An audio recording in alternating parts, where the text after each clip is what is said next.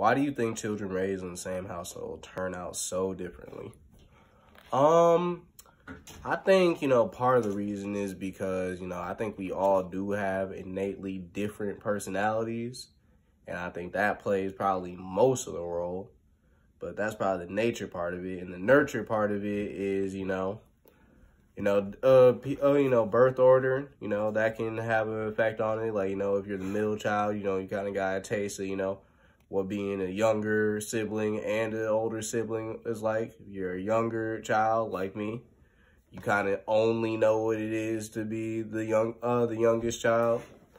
And, you know, you might not be good with, you know, necessarily thinking of others at all times or, you know, caring for, you know, kids or anything like that.